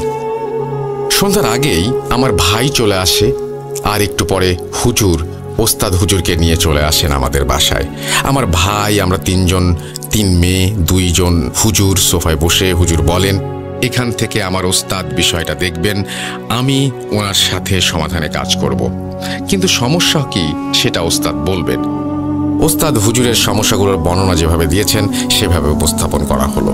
বলছেন, ওস্তাদ হুজুর, হিংসা, শত্রুতা, নজর, এই তিন জিনিস মানুষের হিতাহিত জ্ঞানকে নষ্ট করে ফেলে এবং মানুষ যা করে তার মধ্যে থাকে বান, কালো জাদু ও জীবন নিয়ে ঘৃণিত নানান খেলা। কিন্তু এই খেলায় পাকা খেলোয়াড় মাঝে মাঝে ভুল করে। আজ রাতের মধ্য প্রহরে আমার বাহিনী এসেছিল আপনাদের বাসায়। ওরা সব কিছু জেনে আমাকে বলেছে, এই খেলায় আমার বাহিনী আমাকে সাহায্য করতে পারবে না। এর কারণ কি জানেন? আপনার বড় মেয়ে আপনার বড় মেয়ে কেন এর কারণ সেটা পরে বলছি, আগে সমস্যাটা বলি। আপনার তিন মেয়ের ওপরে বিয়ে বান করা হয়েছে, কিন্তু এখানে একটা ভুল হয়েছে। কি সেই ভুল? যে কবিরা যেই বান করেছে, সে বিয়ে বানের সাথে সাথে আপনার মেয়েদের মৃত্যুবানও মেরেছে, যা সম্পূর্ণ একটি ভুলের ফল। আর এই কাজ করিয়েছে কে সেটাও শেষে বলব। আপনার তিন মেয়ে তিনটি শক্তিশালী জিনের মাধ্যমে পজেস্ট এবং তারা নিজেরাও সেটা জানে না। তবে এখানে একটা কথা আছে। এই তিনজনের মাঝে তিনজনই খারাপ নয়। আপনাদের বাসায় টোটাল চারজন জিনের অবাধ বিচরণ। এর মাঝে একটা খুব ক্ষিপ্ত আছে। এর কারণও আপনার বড় মেয়ে। বাকি সমস্যা শুনব আপনার বড় মেয়ের কাছ থেকে। আমাদের কাজ এখনও শুরু হয়নি, তবে হবে। আমি অনুরোধ করব যেন আপনাদের বাকি দুই মেয়েকে আলাদা দুই রুমে আপাতত আটকে রাখেন। হুজুরের কথা শুনে আমি ও আমার তিন মেয়ে হুজুরকে সাহায্য করব বলে জানাই আর ত্রিনাকে ড্রয়িং রুমে রেখে মাইশা ও রিশাকে আমাদের রুমে নিয়ে গিয়ে চেয়ারের সাথে বেঁধে ফেলি। এরপর ত্রিনাকে নিয়ে আমরা ড্রয়িং রুমের মাঝে গোল হয়ে বসি। ওস্তাদ হুজুর ত্রিনার হাত ধরে বসেন আর বিড় করে কি যেন পড়ছিলেন। ওস্তাদ হুজুর ওনার কাজ করছিলেন, তখন আরেক হুজুর জানালার পাশে বসে বসে জিকির করছিলেন। কিছুক্ষণের মাঝেই ড্রয়িং রুমের সেন্টার টেবিলে জোরে ঝাঁকি খায় আর রুমের সুন্দর গন্ধে পড়ে ওঠে। এবার ত্রিনা ডাবল ভয়েসে হুজুরকে বলে, আসসালামু আলাইকুম। ওয়ালাইকুম সালাম, আলহামদুলিল্লাহ, ভালো আছি। আপনার খবর কি? কি খবর? আসলে আমরা আপনার সাহায্য চাই। আপনি নিজের নাম বলুন আর এই মেয়েকে কবে থেকে রক্ষা করছেন আর কেন করছেন, কীভাবে করছেন সেগুলো বলুন। হুজুরের কথা শুনে শুরু থেকে শেষ পর্যন্ত বলতে শুরু করে। ত্রিনা আমার নাম মোহাম্মদ আলী। আমি একজন জিন। আপনার মতো হুজুরের সাথে আমি থাকতাম। খুব মহব্বত করতাম ওনাকে আমি। উনি মানুষের নানান রকমের সমস্যার সমাধান দিতেন। কখনো কারও কাছ থেকে একটা কানা করিও নিতেন না। কেউ খুশি হয়ে সবজি বা জাল জাল দিলে উনি নিতেন, কিন্তু কখনো চাননি। একবার এক ছেলের উপর বান মারার সমস্যা সমাধান করতে গেলে উনি আমাকে সেখানে নিয়ে যান। বানটা এতই শক্তিশালী ছিল যে কাটতে গিয়ে আমি মারাত্মকভাবে আহত হয়ে পড়ি। এরপর সেই কবিরাজ বান মেরেছিল যে তার বান কাটানোর ফলে সে রাগান্বিত হয়ে পড়ে আর আমার ক্ষমতা দেখে আমাকে সে নিজের কবজায় জিম্মি করতে চায়। কিন্তু আল্লাহ মালিকের বান্দা আমি, নামাজ আর ইবাদত ছাড়া আমি কিছুই করি না, বুঝি না। আমি যখন আহত ছিলাম, তখন সেই কবিরাজ আমার মহব্বতের হুজুরের পরিবারের ওপর এমন কালো জাদু করে যা কাটাতে হুজুরের কুষ্ঠ রোগ হয়ে যায় এবং তিনি মারা যান। কিন্তু উনি ওনার পরিবারকে কিছু দিতে পারেননি। এরপর আমার আহত হওয়ার সুযোগ নিয়েই কবিরাজ আমাকে বন্দি করে ফেলে। আমাকে দিয়ে সে খারাপ কাজ করাতে চাইলে আমি অস্বীকৃতি জানালে সে আমাকে মারধর করে আর বন্দি করে ফেলে একটি বোতলে। তারপর তিনজন শক্তিশালী কাফের জিন ছিল। তিনজনের সাথে লড়াই করার মতো ক্ষমতা আমার ছিল না বলে আমি বন্দি জীবন কাটাচ্ছিলাম কষ্টে। এর মাঝে একদিন এক বয়স্ক যুবক তার মায়ের সাথে কবিরাজের কাছে আসে। এই তিন দিন তিন বোনের বিয়ে আটকানো টোটকার জন্য।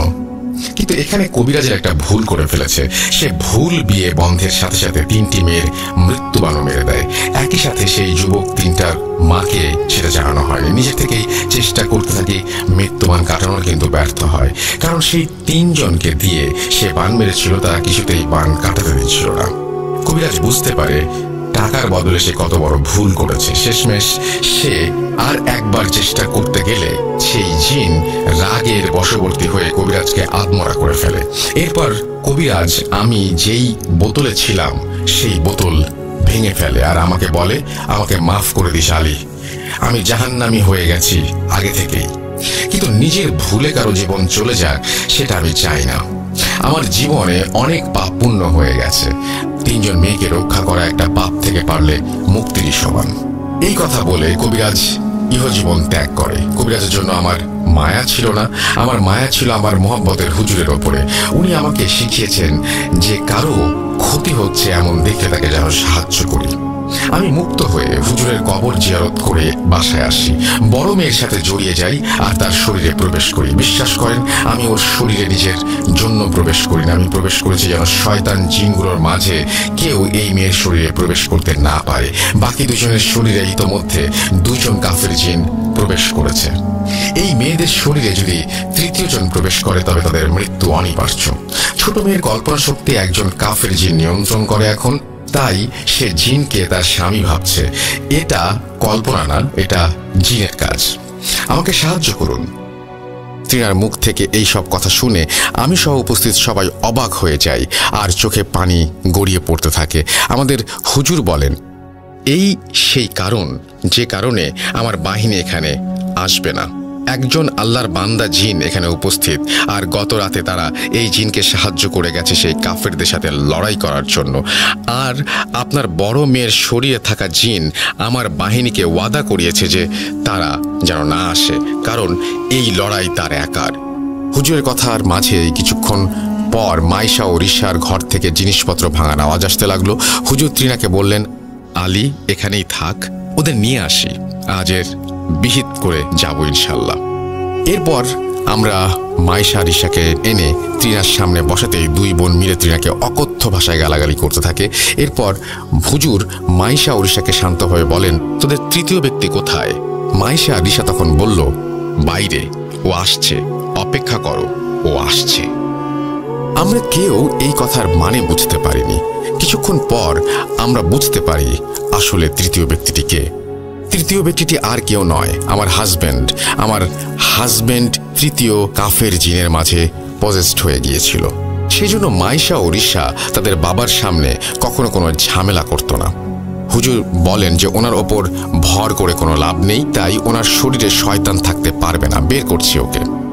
এই বলে হুজুর আমার হাজবেন্ডের মাথায় হাত বুলিয়ে দোয়া পড়তে থাকলে সে মেঝেতে অজ্ঞান হয়ে পড়ে যায়। আর ভাইকে নিয়ে হাজবেন্ডকে তার রুমে গিয়ে তাকে শুয়ে দেয়। এরপর হুজুর বান কাটানোর জন্য কাজ করতে থাকেন। হুজুর দশ মিনিটের রুমের লাইট অফ করে এর মাঝে ত্রিনাকে বলেন আলী এই মেয়ের শরীরে শয়তান আসতে পারবে না। তুমি বানের তাবিজ নিয়ে এসো, সময় কম।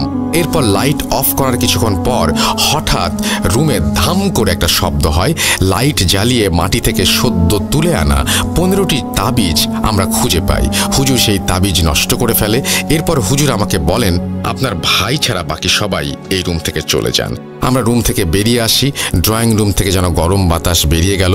মনে হচ্ছিল ভূমিকম্প হওয়ার আগে ধস্তাধস্তি শুরু হয়েছে। শুনে আমার মেরুদণ্ড দিয়ে শীতল বাতাস বইতে লাগল। আমি তৃণার ভেতর থাকা সেই জিনের কণ্ঠ শুনতে পেলাম। ডাবল ভয়েসে সে বলছে, যখন কয়েকটা জীবন বিপন্ন হয়, তখন একটা কোরবানি দিয়ে জীবন বাঁচানো গেলে সেই কোরবানি সম্মানের। আমি কোনো খুন করিনি। এমন এক কাফের শয়তানকে মেরেছি, যে মানুষের জীবন নিতে চেয়েছিল। আমাকে মাফ করে দিন হুজুর। এরপর চিৎকার করে বলতে লাগলেন, মা, পানি আনুন জলদি। এরপর আমি পানি নিয়ে গেলে দেখি ত্রিনা মেঝেতে পড়ে আছে, আমার দিকে তাকিয়ে আছে আর কষ্টে ছটফট করছে। আমার বাকি দুই মেয়ে মেঝেতে অজ্ঞান অবস্থায় পড়েছিল। হুজুর আমাকে বললেন, আমি যেন ত্রিনাকে কোলে তুলে ওকে পানি খাইয়ে দেই। ত্রিনা পানি খেয়ে আমাকে ডাবল ভয়েসে বলল, মা, আমাকে মাফ করে দিয়েন। আমি আপনার মেয়ের শরীরে অনুমতি না নিয়েই প্রবেশ করেছিলাম, কিন্তু আল্লাহ রহমতে একজন কাফেরকে আমি মেরে ফেলেছি আর বাকি দুজন হুজুরের কাছে বন্দি। এখন আর কোনো সমস্যা হবে না, ইনশাআল্লাহ। আমিও মারা যাচ্ছি। তিনজনের সাথে লড়াই করার ক্ষমতা আমার ছিল না। আল্লাহর দয়ায় আর হুজুরের সহযোগিতায় আমি পেরেছি। আমাকে মাফ করে দিয়েন আর আমার জন্য দোয়া করবেন। আসসালাম আলাইকুম। এই বলে তৃণা অজ্ঞান হয়ে যায় আর সেই ভালো জিন মারা যায়।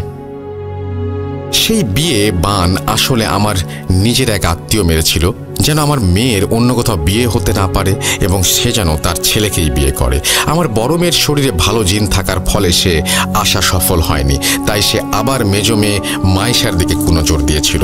আর এই জন্য মাইশা ওই ছেলেকে বিয়ে করতে চাইতো। আর আমার বড় বোনের মেয়ে আমাদের বলতো, এই বিয়ে সে হতে দেবে না। আসলে এই ছেলের পরিবার অনেক আগেই বড় মেয়েকে বিয়ের প্রস্তাব দিয়েছে, কিন্তু আমি মানিনি কারণ ছেলের চরিত্র, আচার আচরণ কোনোটাই ভালো ছিল না। যার ফলে রাগের বশবর্তী হয়ে এই কাজ করেছিল যারা, তাদের জন্য এতটুকু ভোগান্তি আমাদের। আমি আমার পরিবারের বিরুদ্ধে কোনো স্টেপ নিতেও পারিনি, কারণ এগুলো প্রমাণ হয় না, প্রমাণ করা যায় না। আপনি তখন লড়াই করতে পারবেন, যখন শত্রুকে দেখাতে পারবেন। এমন কারোর সাথে কি লড়বেন, যাকে আপনি দেখতেই পান না? তাদের সাথে সম্পর্ক ছিন্ন হয়ে গিয়েছিল। আল্লাহর রহমতে আমার তিন মেয়েরই খুব ভালো বিয়ে হয়েছে। আমার বড় মেয়ে ত্রিনা এখন প্রেগন্যান্ট খুব জলদি সুখবর পেতে যাচ্ছি আমরা ইনশাল্লাহ আল্লাহর শুক্রিয়া আদায়ের পাশাপাশি আলী নামক সেই জিনের কাছে কৃতজ্ঞ আমরা যে তার বন্ধু হুজুরকে ভালোবাসত আর আমার মেয়েদের জন্য নিজের জীবন কুরবানি দিয়েছে। আপনারা সবাই আমাদের জন্য দোয়া করবেন, আলীর জন্য দোয়া করবেন। এই বলে আয়েশা আন্টি তার ঘটনা শেষ করেছেন। ধন্যবাদ আন্টিকে।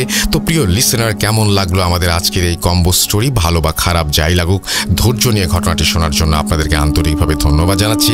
রাসেল ভাইকে ধন্যবাদ জানাচ্ছি কষ্ট করে ঘটনাটি পড়ার জন্য। আরও একবার সবার সুস্থতা কামনা করে আজ বিদায় নিচ্ছি। সাবিত, সিফাত, রোমান তুষার এবং ইউস। আরও নতুন কোনো উইকে নতুন কোনো ঘটনা নিয়ে আবারও ফিরে আসব। ইনশাআল্লাহ ততদিন পর্যন্ত ভালো থাকুন, সুস্থ থাকুন ভূত ডট কমের সাথে থাকুন। সাবিত ফ্রম মাইমন সিং আসসালামু আলাইকুম। ওয়ালাইকুম সালাম। এবং আমি বিশ্বাস করি আপনাদের কাছেও এরকম ঘটনা আছে, সেই ঘটনাগুলো লিখে পাঠিয়ে দিন আমাদের কাছে। আমাদের ইমেল অ্যাড্রেস হচ্ছে Rasel dot Bhoot dot com at the rate Gmail dot com আপনার ঘটনার অপেক্ষায় আমরা, চলুন আমরা চলে যাই আমাদের পরবর্তী ঘটনায়।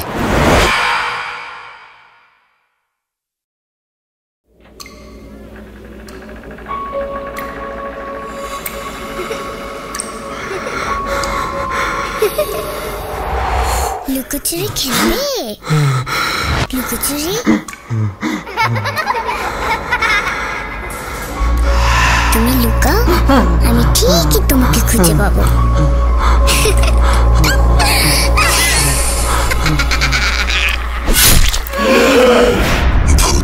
Bhoot.com with Russell. আরও একবার আপনাদের সবাইকে স্বাগত জানাচ্ছি। আমি রাসেল। আশা করছি ভালো আছেন, ভালোর দলে আছেন। আর জি রাসেল ভূত ডট কম ইউটিউব চ্যানেলে আপনাদের সবাইকে স্বাগতম। আজকে নতুন একটা ঘটনা নিয়ে উপস্থিত হয়েছে আপনাদের সামনে। যে ঘটনাটি আপনারা আগে কখনো শোনেননি। এবং সেভাবেই আপনারা জানেন যে আমরা ইউটিউবে এখন রেগুলার নতুন ঘটনা দিচ্ছি। আপনাদের সাপোর্টটা খুব বেশি প্রয়োজন। এখনও আপনারা অনেকেই শুনছেন কিন্তু সাবস্ক্রাইব করছেন না আমাদেরকে। সুতরাং সাপোর্ট যদি না করেন তাহলে আমরা সামনে এগিয়ে যাব কীভাবে? চাইব যে আপনারা আমাদের ইউটিউব চ্যানেলটিকে সাবস্ক্রাইব করুন এবং আমাদেরকে সবসময় ফলো করুন কমেন্ট করুন এবং থামস আপ দিয়ে আমাদেরকে উৎসাহিত করুন। তাহলেই আমরা আরও দ্রুত গতিতে সামনের দিকে এগিয়ে যেতে পারব। এখন কথা না বাড়িয়ে সরাসরি চলে যাব ঘটনায়। আশা করছি যে আজকের এই ঘটনাটি আপনাদের ভালো লাগবে। যদি ভালো লাগে অবশ্যই আমাদের জানাবেন। আর যদি ভালো না লাগে সেটাও আমাদেরকে জানাবেন। আমি চাইব যে প্রথম থেকে শেষ পর্যন্ত আমাদেরকে শুনবেন। আপনারা কমেন্ট ইউটিউবে অনেক কম করেন। আমি চাইব যে আপনারা কমেন্টটাও করেন। আপনারা চেয়েছিলেন বলে ইউটিউবে ফিরে আসা। আপনারা নানাভাবে আমাদেরকে বলেছেন যে ইউটিউবে শুনতে চান। আমি যখন রেডিওতে কাজ করেছি, তখনও আপনারা বলেছেন আপনারা ইউটিউবে শুনতে চান। আমি জানি না কেন, কারণ রেডিও একটা ফ্রি মাধ্যম ছিল। হয়তো একবার শুনে সেখান থেকে হারিয়ে যেত, অর্থাৎ একবার শোনার পরে আর শোনা যেত না। সে কারণেই হয়তো আপনারা চেয়েছিলেন যে ইউটিউবে যেন শোগুলোকে রাখা হয়। আমি যখন স্বাধীনে শো করতে গেলাম, তখনও আপনাদের সে একই প্রস্তাব। আসলাম ফিরে আপনাদের কথায়। কিন্তু কথা রাখতে হবে আপনাদেরও সাপোর্ট দিতে হবে আমাকে। যদি আপনারা সাপোর্ট দেন ডেফিনেটলি এই যাত্রাটা অনেক সুন্দর হবে। আমরা চলে যাচ্ছি আমাদের প্রথম ঘটনায়। আশা করছি ভালো লাগবে আপনাদের। যেভাবে লেখা আছে, আমি সেভাবেই শুরু করছি। আসসালামু আলাইকুম রাসেল ভাই। আমি রায়হান আহমেদ। বলছি, গোপালগঞ্জ, কাশিয়ানি থেকে। কেমন আছেন জানতে চাইব না। এ কথা আমি বলব না, কারণ সবাই বলে এই কথা। আমি না হয় একটু ভিন্ন ধরনের কথাই বললাম। কেমন আছেন আপনি? আমি আলহামদুলিল্লাহ সবসময় ভালোর দলে। আমি ভূত এফ এম দু হাজার ষোলো থেকে শুনে আসছি, কিন্তু কখনো কোনো ঘটনা পাঠানো হয়নি। অনেক দিন ধরে ঘটনা পাঠাবো পাঠাবো মনে করছি, কিন্তু পাঠানো হয় না। আজকে ঘটনাটি লিখেই ফেললাম। প্রথমে চেয়েছিলাম স্টুডিওতে এসে শেয়ার করব, কিন্তু আমার অনার্স প্রথম বর্ষের এক্সাম হবার কারণে সেটা করা হলো না। প্রথমেই বলে রাখি, লেখার ভুল ত্রুটি ক্ষমা সুন্দর দৃষ্টিতে দেখবেন। বেশি কথা না বাড়িয়ে সরাসরি ঘটনায় চলে যাওয়া ভালো। মূল ঘটনায় যাওয়ার আগে শ্রোতাবন্ধুদের বুঝতে যেন সুবিধা হয়, ঘটনার সম্পৃক্ত আনুষাঙ্গিক কিছু কথা বলে রাখা প্রয়োজন।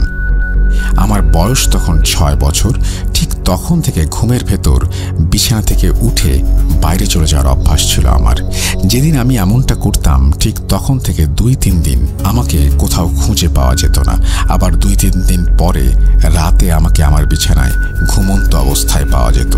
যখন আমি ঘুমের ভেতর বাইরে যেতাম, তার পূর্বে আমার কাছে মনে হতো কেউ আমাকে খুবই মায়াবী এবং দরদ ভরা কণ্ঠে ডাকছে আর আমি তার সঙ্গ দেওয়ার জন্য নিজের অজান্তেই ঘুমের ভেতর চলে যেতাম। এভাবে কিছুদিন যাবার পর আম্মু, আব্বু এবং নানু মিলে আমাকে একটা বড় হুজুরের কাছে নিয়ে যায়। আমাকে দেখে হুজুর কিছু সময় চুপ থেকে বলে, এই সমস্যাটা ওর চোদ্দ বছর হওয়ার আগ পর্যন্ত ঘটতে থাকবে। যদি ওকে কোনো প্রকার চিকিৎসা দেয়া হয়, তাহলে চিরতরে ওকে হারাতে হতে পারে। এই বলে আমাদেরকে চলে যেতে বলে এবং আমি যখনই চলে আসব তখনই আবার হুজুর আমার উদ্দেশ্যে বলে, ওর বয়স চোদ্দ বছর পূর্ণ হবার আগ পর্যন্ত কখনোই রাতে একা ঘুমাতে দেবেন না। সেই দিনের পর থেকে আমার সাথে আমার নানু প্রতি রাত্রে ঘুমাতো এবং রাতে যখনই আমি ঘুমের ভেতর উঠে রুম থেকে বাইরে চলে যেতে চাইতাম, ঠিক তখনই নানু আমার হাত টেনে ঘুম পাড়িয়ে দিত। এভাবেই কেটে গেল আমার ছেলেবেলা। চোদ্দ বছর পেরিয়ে গেল। আলহামদুলিল্লাহ এর পর থেকে রাতে ঘুমের ভেতর উঠে বাইরে চলে যাওয়ার দোষটা কেটে যায়। এভাবেই আরও কয়েকটা বছর কেটে যাওয়ার পর শুরু হলো জীবনের নতুন এক অধ্যায়।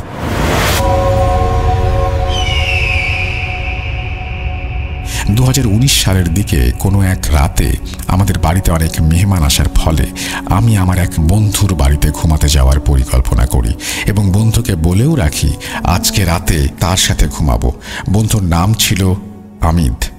যেহেতু বাড়ি ভর্তি মেহমান ছিল, তাই সবার সাথে গল্প এবং আড্ডা দিয়ে রাতের খাবার খেয়ে বাড়ি থেকে বের হতে হতে আনুমানিক রাত বারোটা পনেরো থেকে বিশ হয়ে যায়।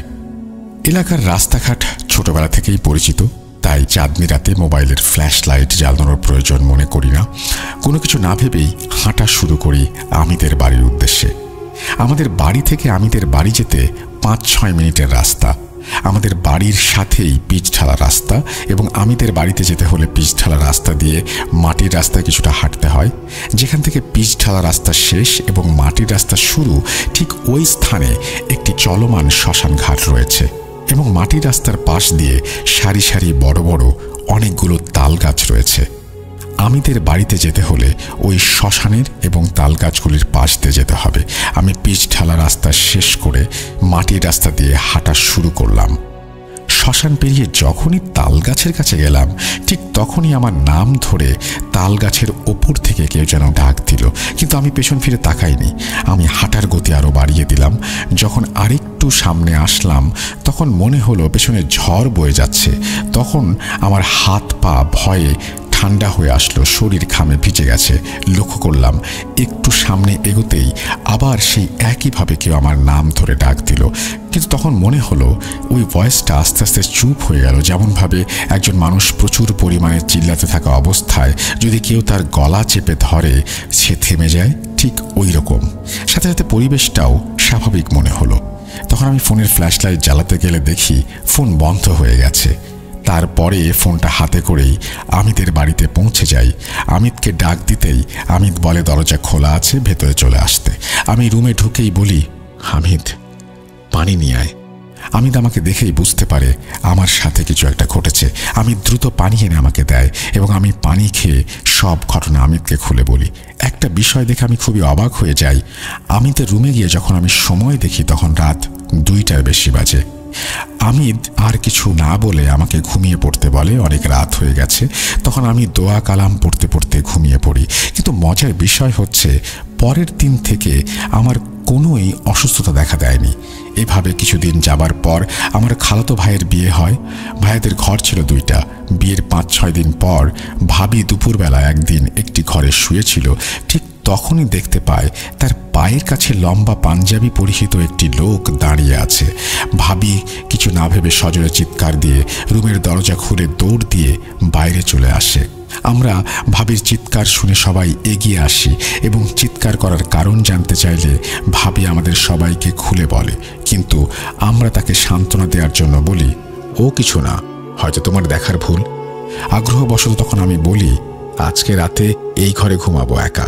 দেখি, কিছু দেখতে পাই কি না যেই কথা সেই কাজ, রাতে একাই ঘুমোতে যাই ঘরে দোয়া কালাম পড়ে ঘুমিয়ে পড়লাম। মধ্যরাতে এমনিতেই কেন যেন আমার ঘুমটা ভেঙে গেল এবং আমি বুঝতে পারলাম কেউ আমার মাথাটা হাত বুলিয়ে দিচ্ছে এবং সাথে বালিশটা সোজা করে বালিশের ওপর আমার মাথা তুলে দিচ্ছে।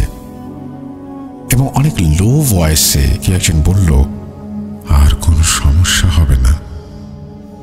আমি আর কারও সামনে দেখা দেব না। বলল, এই ঘরে কোনো ছোট বাচ্চাদেরকে একা না রাখতে। তখন ভয়ে আমার পুরো শরীর শিউরে ওঠে এবং অতি দ্রুত রুমের লাইট অন করি, দেখি কোথাও কিছু নেই। ভাবলাম, মনে হয় স্বপ্ন দেখেছি।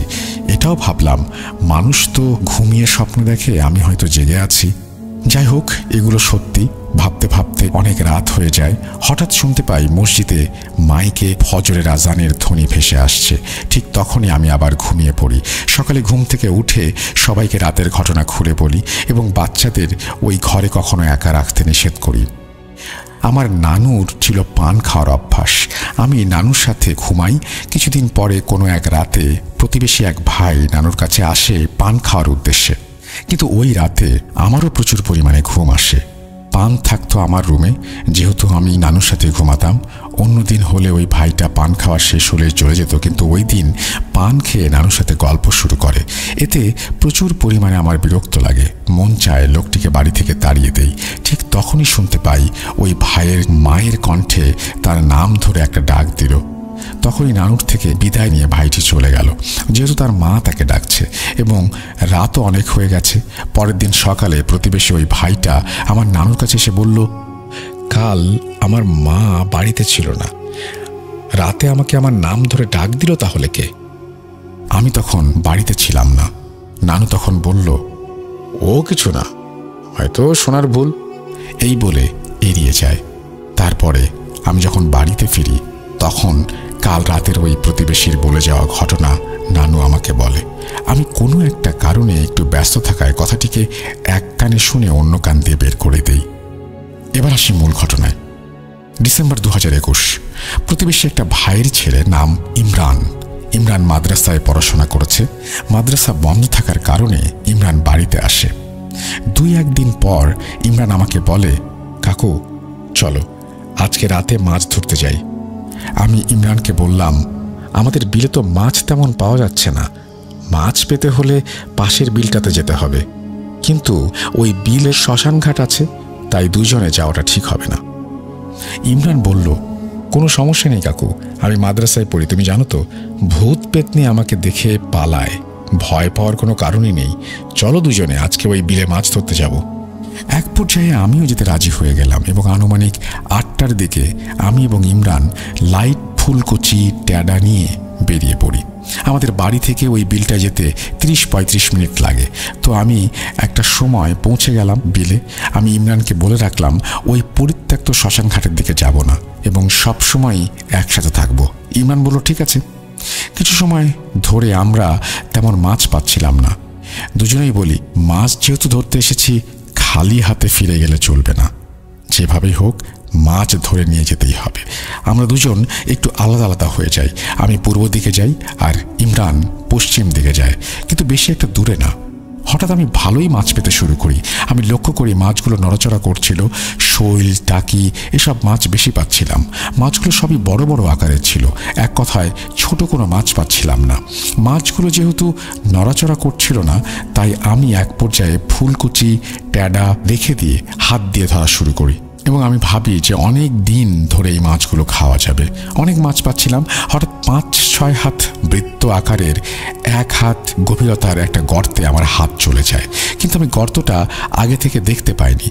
যখনই আমার পা ওই গর্তে পড়ল, তখনই ওই গর্তের ভেতর থেকে চার, পাঁচ কেজি ওজনের একটা বোয়াল মাছ বের হয়ে আসে।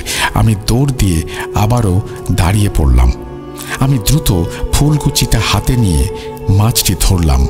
এবং আমার কাছে থাকা ব্যাগে রাখতে গেলাম। আমার ব্যাগটি ছোট থাকার কারণে এবং মাছ বেশি পাওয়ার কারণে ব্যাগটি প্রায় ভরে এসেছিল, তাই বোয়াল মাছটি ব্যাগে রাখতে পারছিলাম না। আমি ভাবলাম, ইমরানকে বলব বোয়াল মাছটি আমার ব্যাগে রাখতে সাহায্য করার জন্য। আমার সামনে সেই পরিত্যক্ত শ্মশান ঘাট, এটা দেখে আমার মনে হচ্ছিল, পায়ের নিচে মাটি নেই। আমি এখানে কেমন করে আসলাম? শ্মশানে ছিল জোড়া দুটা তাল গাছ এবং একটা বট গাছ। বট গাছের দিকে তাকাতে আমি যা দেখলাম, সেটা দেখার জন্য আমি একেবারেই প্রস্তুত ছিলাম না। আমি দেখলাম, মাথাবিহীন একটি অবয়ব আমার দিকে তাকিয়ে আছে। এবং দেখতে দেখতে সেই অবয়বটি তিনটি হয়ে গেল। আমি কি করব কিছুই বুঝতে পারছিলাম না। কোনো দোয়াই আমার মনে আসছিল না। চিৎকার করতে চাচ্ছিলাম, কিন্তু আমার মুখ দিয়ে কোনো শব্দ বের হচ্ছিল না। দৌড় দিতে গেলাম, আমার পা যেন অবশ হয়ে গেছে। পুরা শরীরে কোনো জ্ঞান নেই। ভয়ে আমি কি করব কিছুই বুঝতে পারছিলাম না। শুধু একটা কথাই মনে আসছিল, আজ হয়তো আমার শেষ দিন। মৃত্যু অবধারিত। কেউ আজকে আমাকে বাঁচাতে পারবে না। ঠিক তখনই দেখতে পেলাম, ওই অবয়বটি একটিতে রূপান্তরিত হলো। কালো, লম্বা, বিভৎস এবং প্রচুর দুর্গন্ধযুক্ত। মুখে যেন থ্যাতলানো চোখ দিয়ে আগুন বের হচ্ছিল। আমি দেখি ওই অবয়বটি হাত বাড়ালো যখন, ঠিক তখনই সাদা পাঞ্জাবি পরিহিত সাত, আট ফিট লম্বা একটি লোক ওই অবয়বটির সামনে এসে দাঁড়াল এবং দুজনের ভেতর কিছু না কথা হচ্ছিল। আমি কিছুই বুঝতে পারছিলাম না, শুধু অসহায়ের মতো তাকিয়েছিলাম। এক পর্যায়ে ওদের মধ্যে কথা কাটাকাটি থেকে মারামারি শুরু হলো। ওইখানে থাকা বটগাছ এবং তাল গাছ দুটিতে প্রচুর পরিমাণে ঝড় বইতে শুরু করল। আমি আর নিজেকে সামলাতে পারলাম না। এরপরে আমার আর কিছু মনে নেই। যখন আমার জ্ঞান ফিরল, তখন আমি নিজেকে আবিষ্কার করলাম। ওই বিল থেকে আমাদের বাড়ির মাঝামাঝি একটি রাস্তায় চোখ মেলতেই দেখলাম, ইমরান দোয়া কালাম পরে আমাকে ফোঁ দিচ্ছে এবং ওর চোখ দিয়ে পানি পড়ছে। তখন আমি ইমরানকে বললাম, আমি এখানে আসলাম কেমন করে? ইমরান বলল, আমি তোমাকে অনেক খুঁজেও কোথাও না পেয়ে একাই বাড়ি যাওয়ার সিদ্ধান্ত নেই। আমি যখন এইখানে আসলাম, তখন শুনলাম তুমি পেছন থেকে ইমরান বলে ডাক দিচ্ছ। আমি লাইট মারার সাথে সাথেই তুমি মাটিতে পড়ে গেলে। আমি দ্রুত তোমার পাশে গিয়ে চার পাঁচ মিনিট দোয়া পড়ে ফু দিলে তুমি চোখ খুললে। কি হয়েছিল তোমার সাথে? আর তুমি এমন কেন করছিলে? ইমরানের কোনো প্রশ্নের উত্তর না দিয়ে বললাম, তাড়াতাড়ি বাড়ি চলো। যখনই বাড়ির উদ্দেশ্যে রওনা দিলাম, তখনই দেখলাম ব্যাগ ভর্তি মাছ এবং বোয়াল মাছটি আমার গামছা দিয়ে বাঁধা। আরেকটি বিষয় খেয়াল করলাম, আমার শরীর জ্বরে পুড়ে যাচ্ছে। অনেক কষ্টে বাড়ি আসলাম, তারপর সবাইকে শুরু থেকে শেষ পর্যন্ত ঘটনা খুলে বললাম। তখন আব্বু এবং নানু আমাকে ছোটবেলার সেই হুজুরের কাছে নিয়ে যায়। হুজুর তখন তাহাজ্জুদের নামাজ পড়ার জন্য বাইরে থেকে অজু করে ভেতরে ঢুকছে। ঠিক তখনই আমরা হুজুরের বাড়িতে উপস্থিত হয়ে গেলাম। হুজুর আমাকে দেখেই কিছু না বলে ভেতরে চলে যেতে বলল। আমরা ভেতরে চলে গেলাম। তখন আব্বু আমার সাথে ঘটে যাওয়া ঘটনাটি বলতে শুরু করল। তখন হুজুর বলল, আমাকে কিছুই বলা লাগবে না। এবং আমাকে উদ্দেশ্য করে বলল, তোমার মনে আছে, অনেকদিন আগে তুমি যখন রাতে ঘুমানোর জন্য আমিরদের বাড়ি যাচ্ছিলে, তখন কি হয়েছিল? আমি জবাবে বললাম, মনে আছে। তখন হুজুর বলল, একটা দুষ্টু জিন তোমার পিছু নিয়েছিল। ঠিক তখনই একটা ভালো জিন তোমাকে ওই দুষ্টু জিনের কবল থেকে রক্ষা করে। তোমার একদিন রাতে অনেক ঘুম পাচ্ছিল, কিন্তু তুমি একজনের জন্য ঘুমাতে পারছিলে না। তখন ওই লোকটি যাতে এসে খোশ গল্প না শুরু করে, ওই লোকটির মায়ের কণ্ঠে কেউ একজন তাকে ডাক দেয়। ওটাও সেই জিনের কাজ ছিল। আবার একদিন রাতে ঘুমিয়েছিলে, হঠাৎ তোমার ঘুম ভেঙে যায়, তোমার মাথায় কেউ হাত বুলিয়ে দিচ্ছিল, তোমার সাথে কথা বলছিল, ওটাও সেই জিনের কাজ ছিল। আজকে যখন তুমি প্রথমে মাছ পাচ্ছিলে না, তখন শ্মশানে থাকা একটা জিন তোমার পিছু নেয়, তোমাকে ভুলিয়ে ইমরানের কাছ থেকে আলাদা করে ফেলে, ধীরে ধীরে ওই শ্মশানের কাছে নিয়ে যায়। শ্মশানে থাকা দুষ্টু জিনের উদ্দেশ্য ছিল তোমাকে মেরে তোমার রক্ত খাওয়ার, কারণ ওই জিন সাধারণত পশু পাখির রক্ত খায় যায় একই সাথে ওই জিনটি অনেক দিন অনাহারে ছিল। যখনই ওই জিনটি তোমার কাছে যেতে গেল, তখনই হামজা চলে আসে। হামজা হচ্ছে সেই ভালো জিনটি যে তোমাকে সাহায্য করে। হামজা প্রথমে ওই নরপিসাচটির কিছু করতে চায়নি, কিন্তু ও কিছুতেই বুঝতে চাচ্ছিল না। অবশেষে সেই নরপিসাচটিকে সে মেরে ফেলে। তুমি যখন জ্ঞান হারিয়ে পড়েছিলে, তখন হামজা তোমাকে তুলে নিয়ে ইমরানের পেছনে গিয়ে তোমার কণ্ঠে ইমরানকে ডাক দেয়। ইমরান পেছনে ফিরতেই লাইট মেরে তোমাকে খুঁজে পায়, আর তখনই তুমি মাটিতে পড়ে যাও। আমি হুজুরকে বললাম, হামজা কি আমার সাথে থাকে? উত্তরে হুজুর বলল, তোমাকে ছোটবেলায় যখন চিকিৎসা করার জন্য আমার কাছে নিয়ে আসা হয়, তখন হামজা আমার ছাত্র ছিল। ওর বাড়ি পাকিস্তানে। হামজা তোমাকে দেখে আমাকে বলে, হুজুর, আপনি অনুমতি দিন, এই ছেলের সাথে আমি থাকতে চাই। সামনে ওর অনেক বিপদ আসছে। আমি ওকে বিপদ থেকে উদ্ধার করতে চাই। আমি হামজাকে অনুমতি দেই, সেই থেকে হামজা তোমার সাথেই আছে। আমরা সবাই শুধু হুজুরের মুখের দিকে এক দৃষ্টিতে তাকিয়েছিলাম, হুজুরের কথা শুনছিলাম, হুজুরের কথা শেষ হলে এক গ্লাস পানি পড়া দিয়ে তিনি আমাকে খেতে বলেন। আমি পানি পড়া খাওয়ার সাথে সাথেই জ্বর চোখের নিমেষেই উথাও হয়ে যায় এবং হুজুর আমাদেরকে চলে যেতে বললেন, আমরা চলে আসব এবং দুঃখের বিষয় হুজুর এখন আর আমাদের মাঝে নেই। কিছুদিন আগে এই পৃথিবীর মায়া ত্যাগ করে তিনিও পরপারে পাড়ি জমিয়েছেন। এই ছিল আমার ঘটনা। তাই বলে তিনি তার ঘটনা শেষ করেছেন। ধন্যবাদ আপনাকে, আপনার এই চমৎকার ঘটনাটির জন্য। ঘটনাটি অনেক বেশি ইন্টারেস্টিং আশা করছি যে আপনাদের সবার ভালো লেগেছে এবং আমাদের email address Rasel dot Bhoot dot com at the rate Gmail dot com দেরি না করে আপনার প্রিয় ঘটনাগুলো পাঠিয়ে দিন আমাদের কাছে, সবচেয়ে ভয়ঙ্কর ঘটনাগুলো পাঠিয়ে দিন আমাদের কাছে। আমরা প্রচার করতে চাই একটার পর একটা। আমাদের কমেন্ট সেকশানে আপনাদের কমেন্ট চাই। আমাদের ঘটনা ভালো লাগলে থামস আপ দেবেন, সেটাও চাই।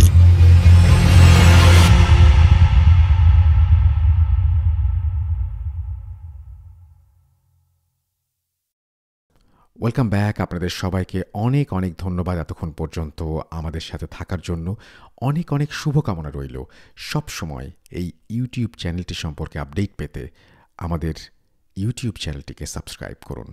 আশা করছি আমরা একসাথে অনেকটা পথ হাঁটব। আজকের মতো এখানে বিদায় নিচ্ছি। সবাই ভালো থাকুন, সুস্থ থাকুন। মোস্ট ইম্পর্ট্যান্টলি ভূত ডট কমের সাথে থাকুন। আল্লাহ হাফেজ।